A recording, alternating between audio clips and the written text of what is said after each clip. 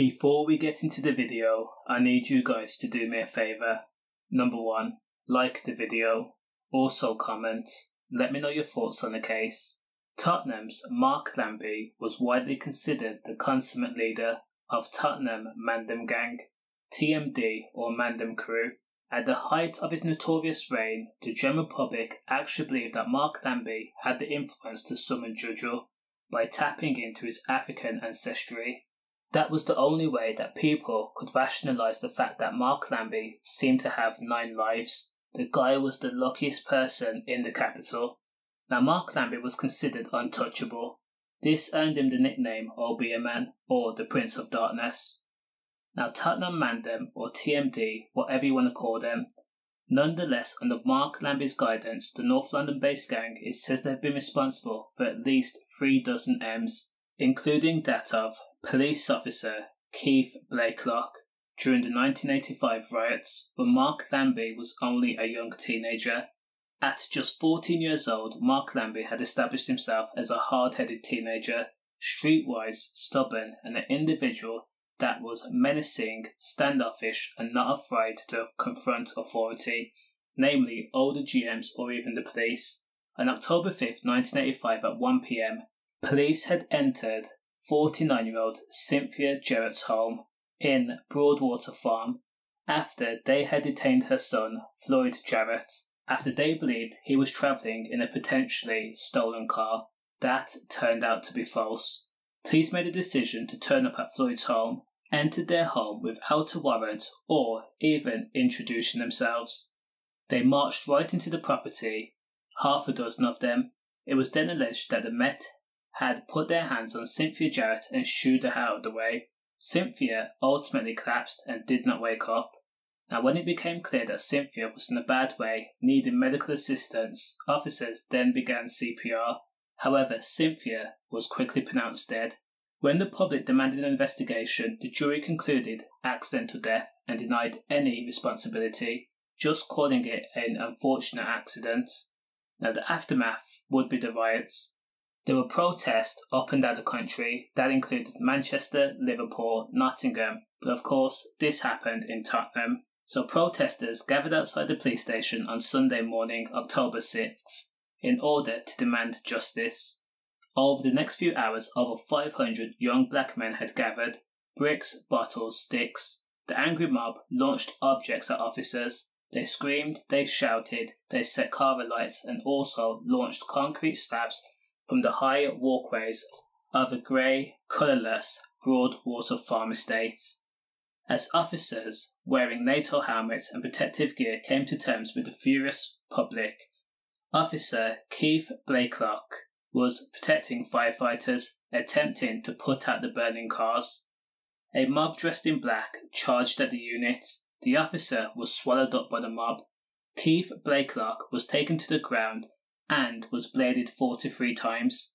By the time his colleagues had rescued Blakelock, he had axe marks to the face.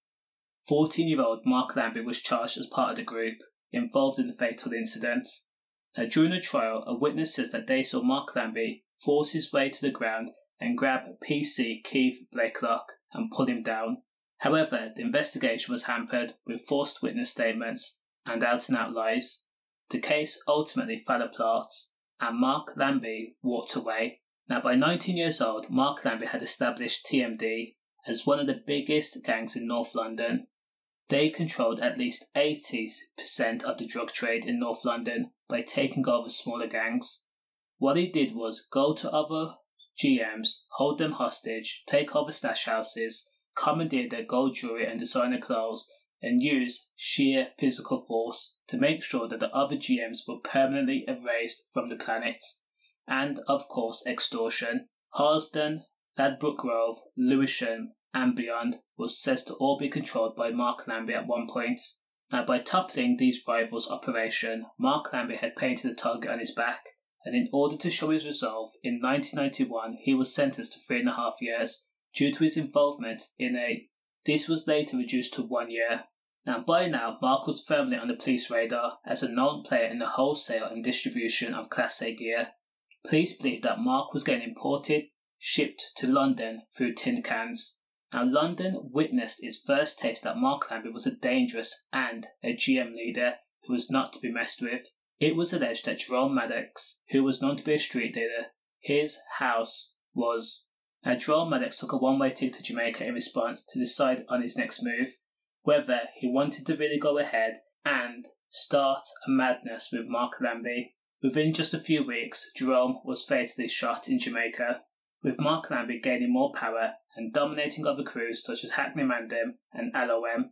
In 1996, police received intel that Mark and his associate, Clifford Angle, had targeted Keith Rowe in Willesden, West London. After receiving a tip from a woman, Kenneth, who was originally from Stamford Hill and was part of the DMC posse, that was made up of GMs from South Tottenham, Stamford Hill, and Clapton.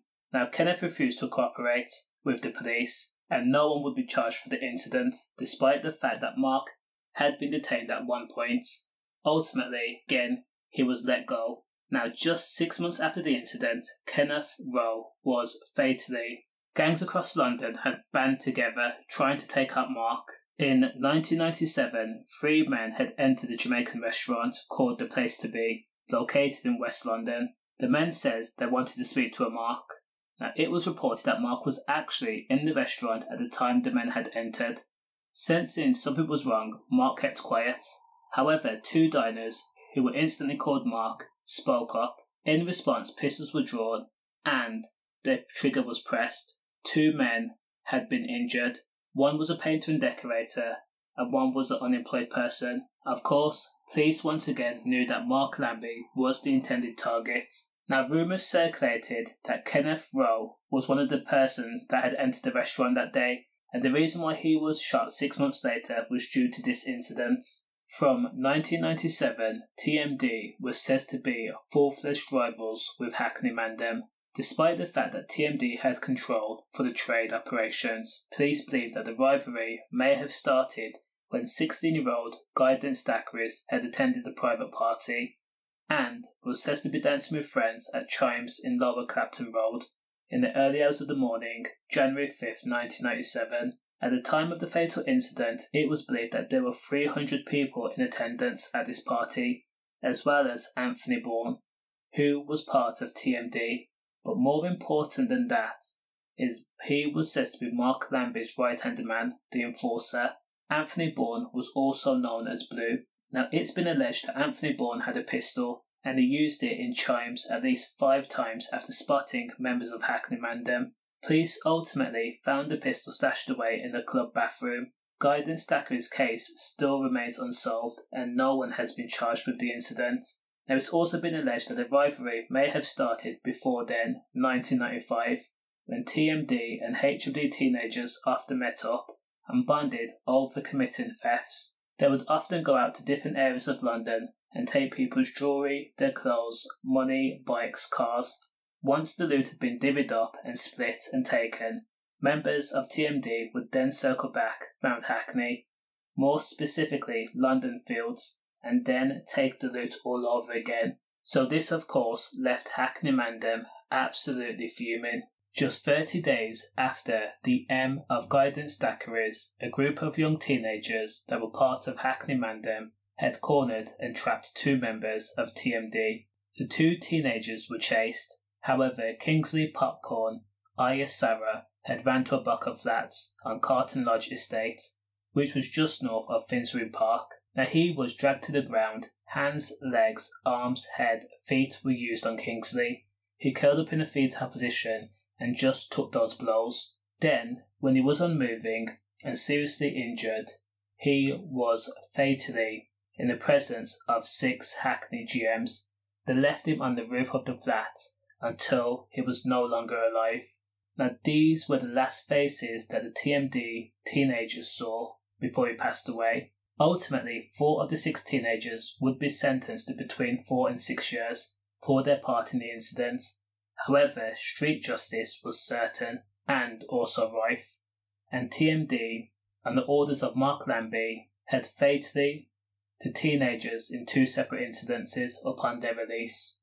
Look out for part two, where we discuss the downfall of Mark Lambie. Stay safe, safe.